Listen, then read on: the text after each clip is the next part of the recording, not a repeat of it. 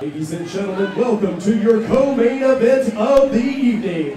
This is a professional bout that will be contested at three five-minute rounds, brought to, you, brought to you by Bob Moore Cadillac.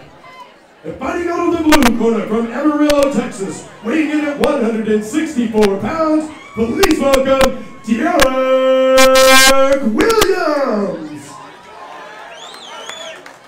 And his opponent from across the ring, fighting out of the red corner from Edmond, Oklahoma, weighing in at 164 pounds, please welcome Adkins.